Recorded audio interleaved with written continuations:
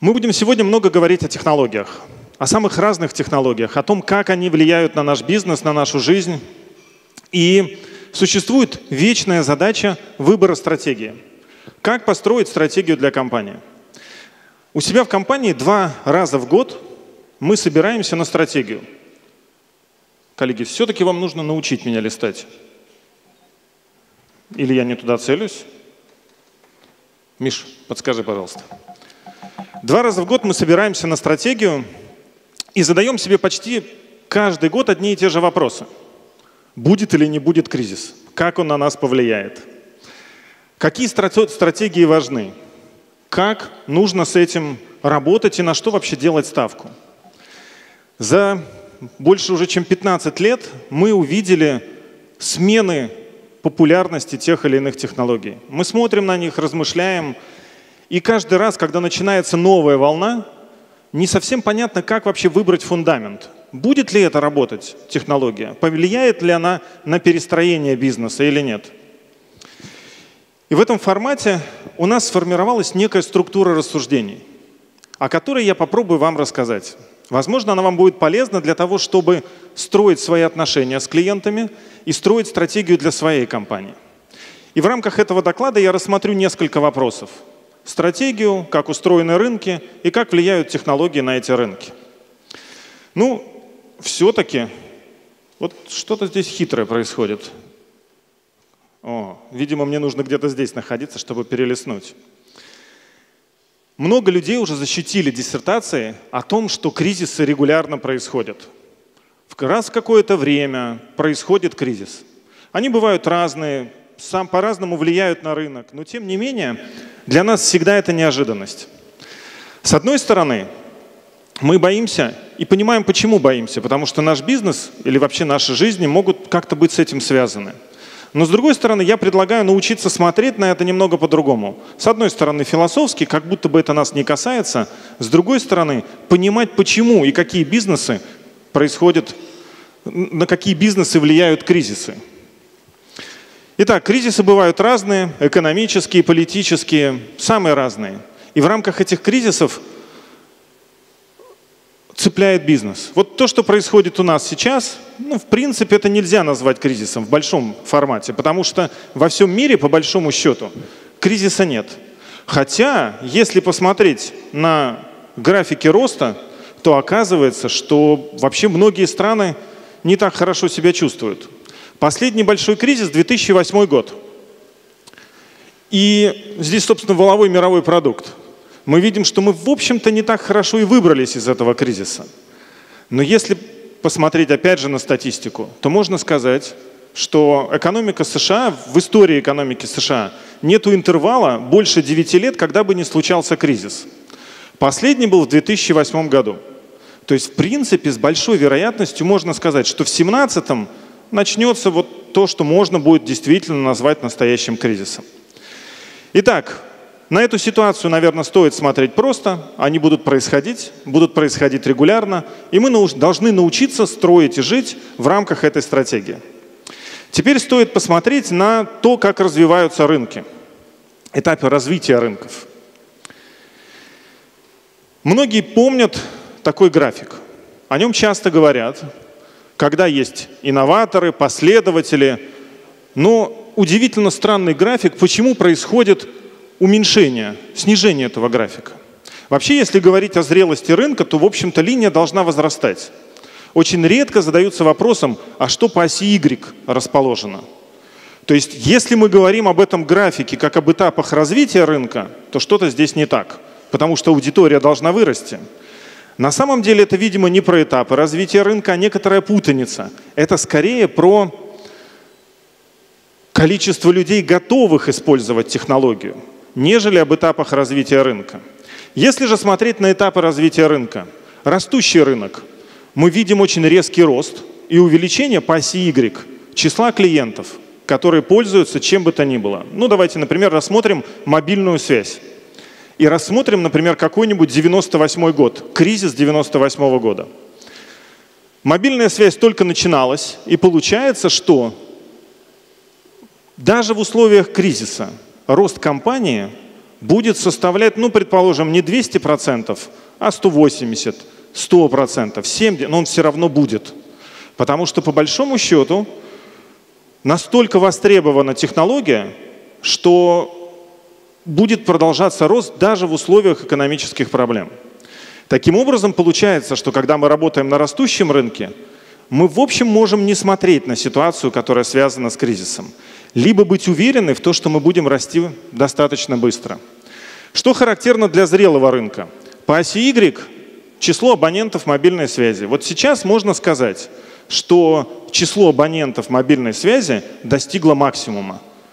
Оно по большому счету уже не будет расти, потому что 120-130% симок, как они говорят, находится у людей на руках. Тем самым рынок насыщен, и все, в общем-то, можно, заверш... можно сказать, что завершилось. Посмотрим на зрелость и незрелость рынка еще с другой стороны. Что это означает? Растущий рынок говорит нам о том, что, ну, например, занято только 10%. То есть, например, у 10% людей в 1998 году располагали мобильной связью, а все остальные ничего не знали об этом рынке. И это значит, что на растущем рынке не нужно бороться с конкурентами. Нужно бороться за новых клиентов. Нужно искать и расширять свою территорию за счет, по сути, пустого рынка. Если же мы смотрим на зрелый рынок, по большому счету уже не нужно рассказывать людям, что такое мобильная связь. Все по большому счету знают, что это такое, но существует очень высокая цена перехода между клиентами. Рынок поделен, то есть нету больше абонентов, у которых нету сим-карт.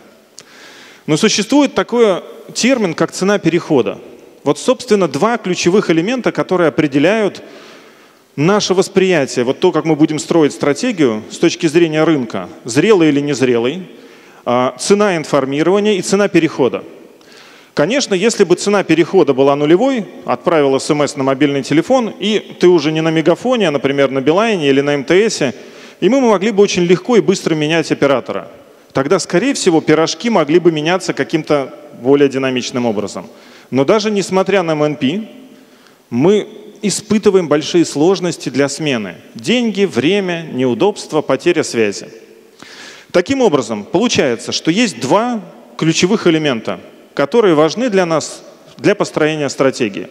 Этап развития рынка. Мы должны определиться, что, на каком рынке мы работаем – что находится по оси Y? В этом смысле всегда очень важно. Пользователи такой-то услуги, те, у кого есть автомобили, те, у кого есть сим-карты и так далее. И, собственно, цена за переход. Она становится очень важной, особенно когда рынок уже поделен. И от этого можно попробовать строить стратегию. Кстати, интернет является растущим или зрелым рынком? Мы с вами много лет работаем на интернет-рынке. Каков он на сегодняшний момент? Цифры говорят о том, что интернет перестал расти так быстро. Если посмотреть на мировую статистику, то, в общем-то, рост замедлился где-то до 8, может быть, там 7%. Если же мы реально исключим оттуда Индию, которая сейчас один из самых быстрорастущих рынков, то окажется, что рост еще медленнее. Если мы посмотрим на российский рынок, то мы увидим вот такой график, очень похожий на тот, который я вам показывал. И он характерен для растущего рынка.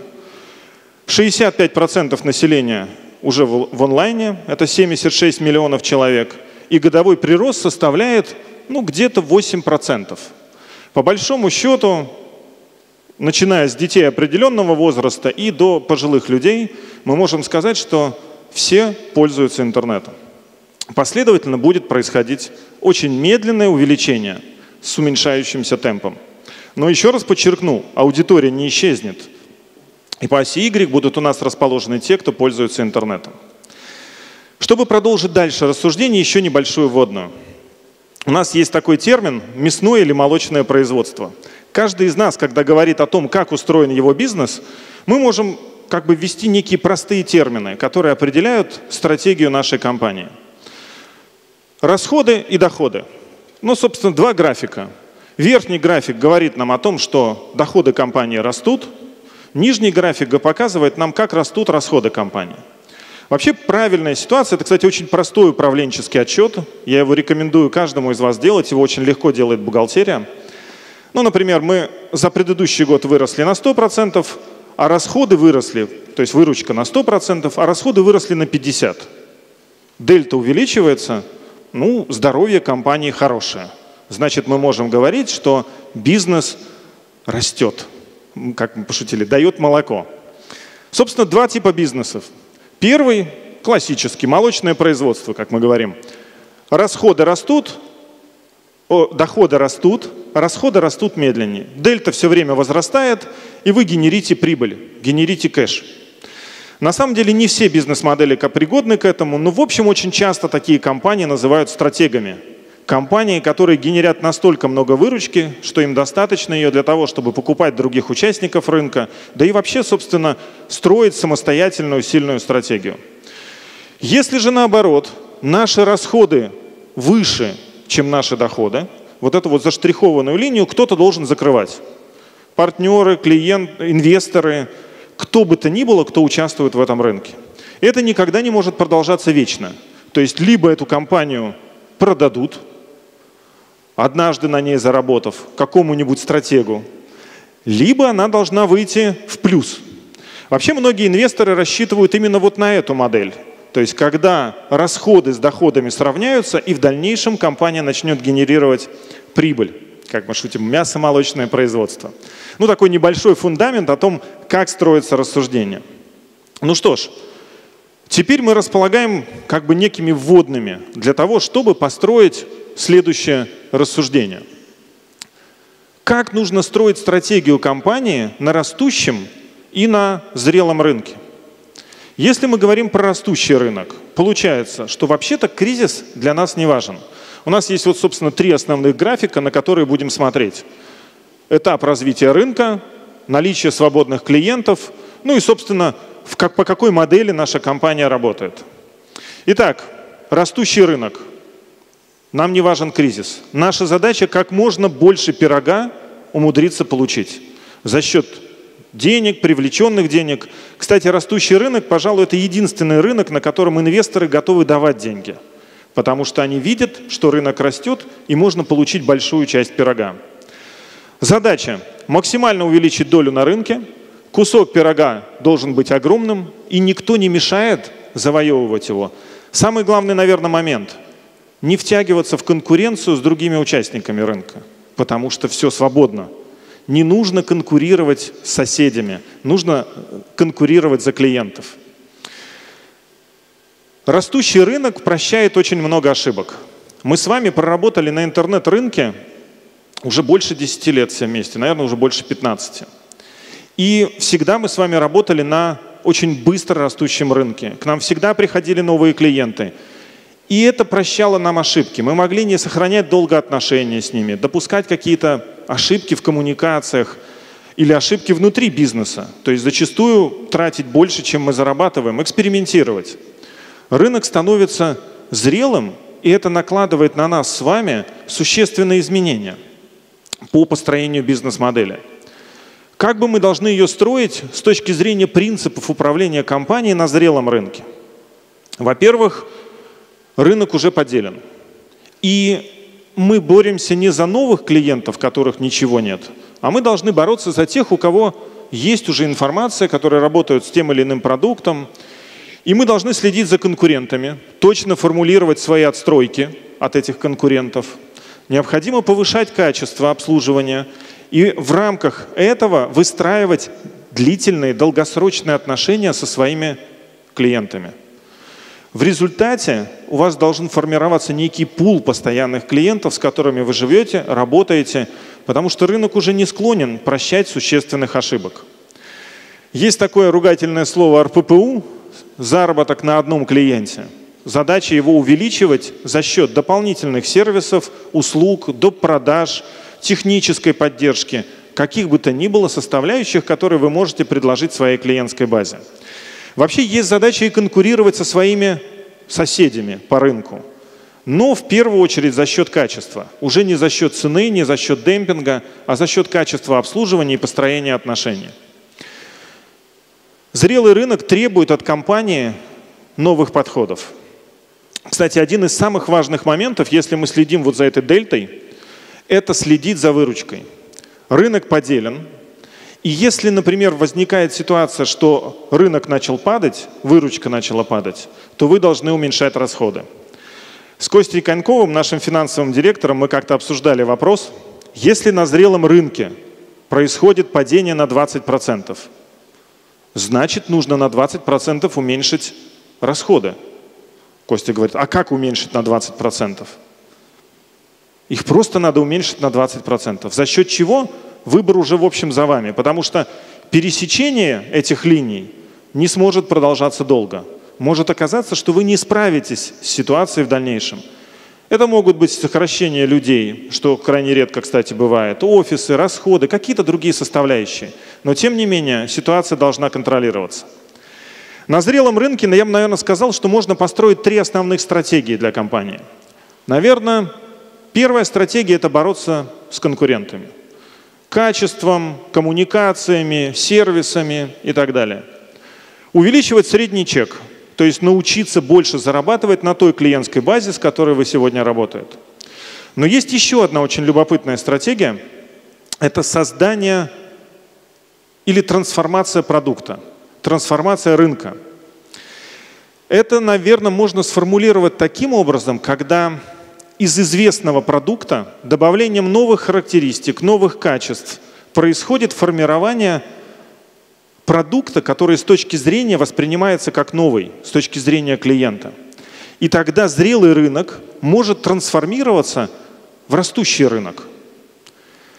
Трансформация рынка с точки зрения клиента – Продукт должен обладать новыми качествами, клиент должен воспринимать его как совершенно новый, он должен прям отличаться и быть по ощущениям с точки зрения клиентом нового. И очень круто, когда удается сохранить при этом одно и то же название. Ну, например, автомобиль, но у него при этом появились какие-то новые характеристики.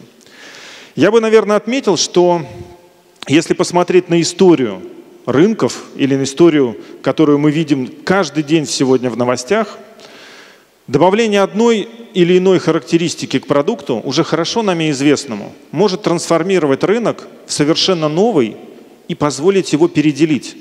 Реально зрелый рынок продолжает свое существование, но рядом с этим зрелым рынком начинается бурный рост нового сегмента – вы каждый можете вспомнить много примеров подобных технологий, технологических революций. Ну вот, например, аудионосители. Все начиналось с пластинок, через серию технологических изменений в последние годы трансформируется этот рынок уже в онлайн-проигрывание. Теперь достаточно купить Яндекс Музыку для того, чтобы получить доступ ко всему пакету музыкального наследия – выбирает слушать то, что вам интересно. Хотя при этом чаще всего на всех этих носителях были записаны одни и те же мелодии. И мы очень часто их купили трижды, четырежды для того, чтобы послушать. В принципе, можно говорить, что добавление слова «интернет» или технологии к тем или иным зрелым рынкам позволяет их полностью переделить. Ну, посмотрите на рынок такси классический, традиционный рынок, и все называется так же, как такси. Ну, иногда называется там Uber. Но тем не менее, функция сохранилась, с точки зрения потребителя все изменилось, но буквально за несколько лет произошла, по сути, революция на классическом, не изменявшемся рынке. И так происходит изменение во многих сегментах, где удается добавить интернет-технологии и сделать их частью классического бизнеса. Сейчас много технологий, о которых говорят. Мы сегодня тоже будем о многих и говорить, но хотелось бы, наверное, отдельно поговорить о, наверное, так сказать, искусственном интеллекте, о тех технологиях, которые с этим связаны. Много стали говорить о возможности передела сегментов. Мы много экспериментируем. Сегодня, кстати, коллеги будут рассказывать вам не только про Марту, но и про Мию. У нас появился на Западе очень интересный интеллектуальный бот, который ну, должен вас будет любопытно заинтересовать. Что стоит за этим, за этой волной публикаций, новостей и заявлений об искусственном интеллекте? Как устроены нейронные сети? Почему это создает такие возможности для бизнеса? И даже появляются вот такие заявления. Да, конечно, в них есть и пиарная составляющая, но тем не менее, когда топ-менеджеры такого уровня говорят о том, что возможны существенные изменения это повлияет на весь рынок, да, что-то за этим стоит. Андрей Сибрант расскажет в презентации после меня о том, что такое нейронные сети и как это может повлиять на рынок.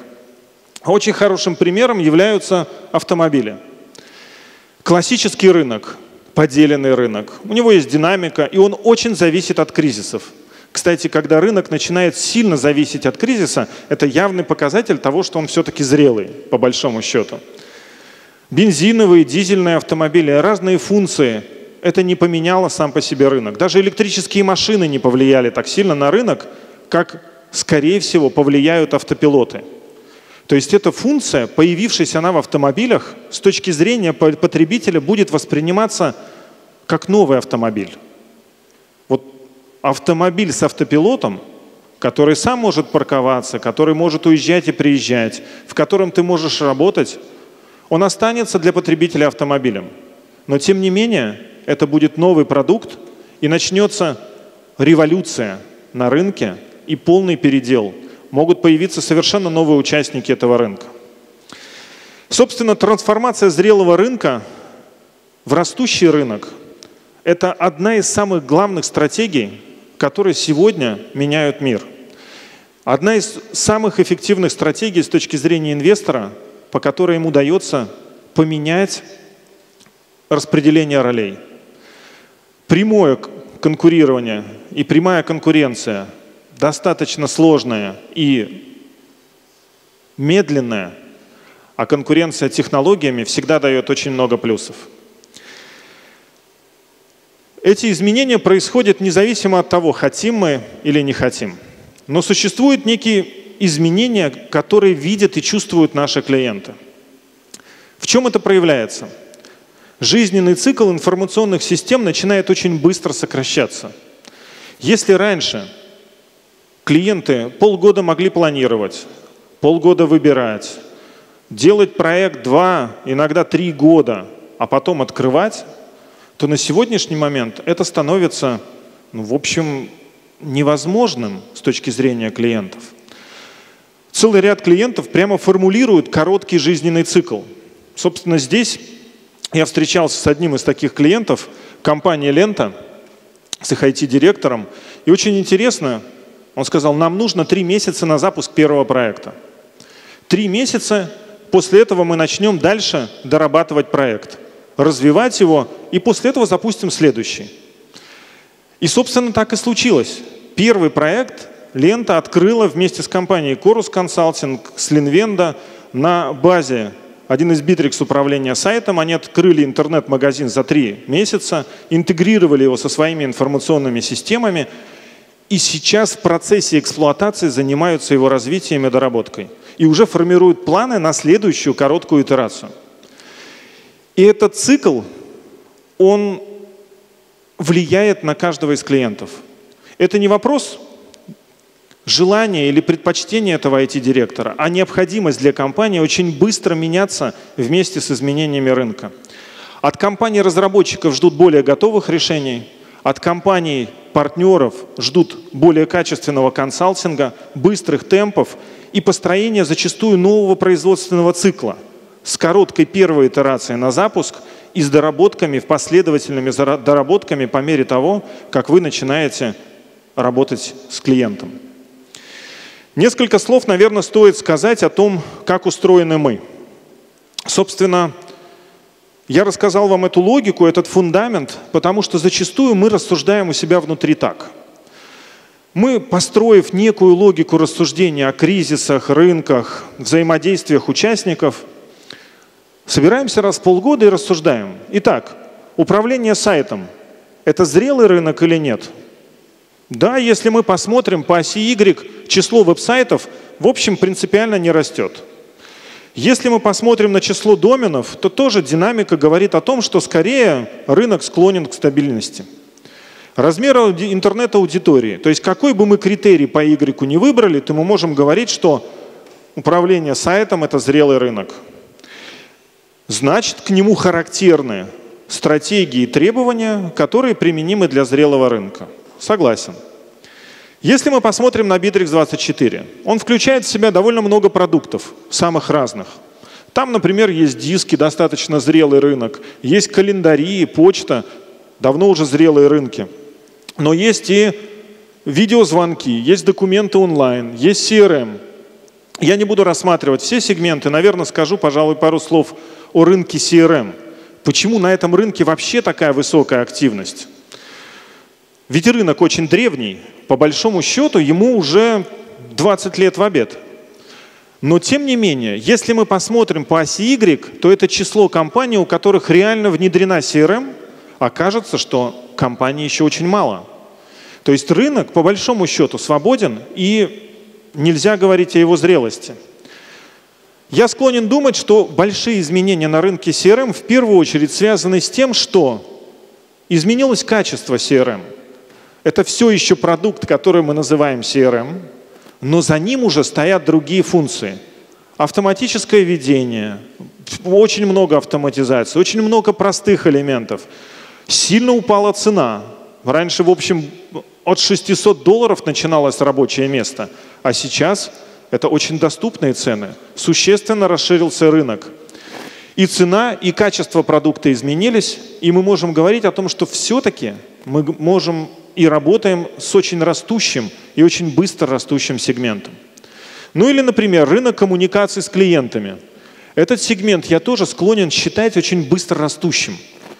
Открытые линии, онлайн-чат на сайт, работа через социальные сети, мессенджеры, вайберы, телеграммы, обратный звонок, целый блок коммуникаций, меняющихся между компанией и между клиентом.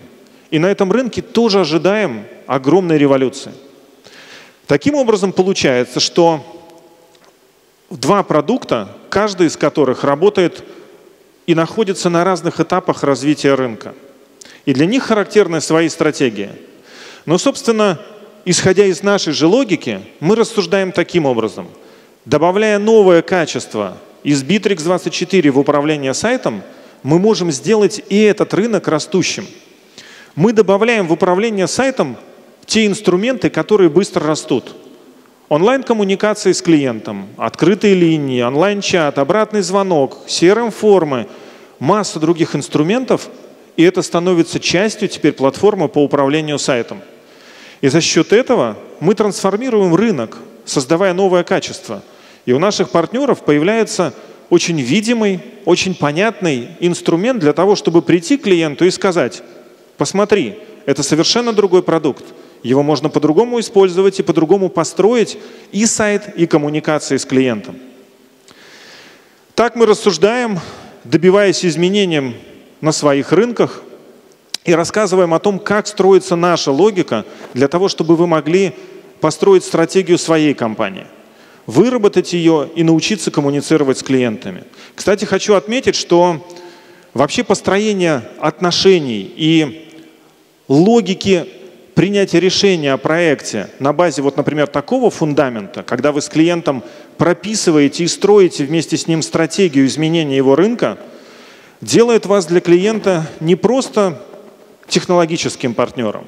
Вы помогаете ему действительно произвести существенные изменения на рынке и стать постоянным его клиентом. Мир очень быстро меняется, и это требует быстрых изменений для нас. Меняться нужно быстро – Меняться нужно для того, чтобы всегда работать на растущем рынке. Для того, чтобы работать независимо от кризиса. В определенном смысле хотелось бы строить свой бизнес и свою стратегию таким образом, чтобы в любой момент, не опасаясь каких-то внешних процессов на рынке, быть уверенными в том, что вы приносите пользу клиентам, и эта польза для них не только технологическая, но и консалтинговая, в том, что ваши продукты создают для них новые возможности и позволяют им выиграть свою конкурентную борьбу и стать совершенно новыми компаниями. Спасибо большое.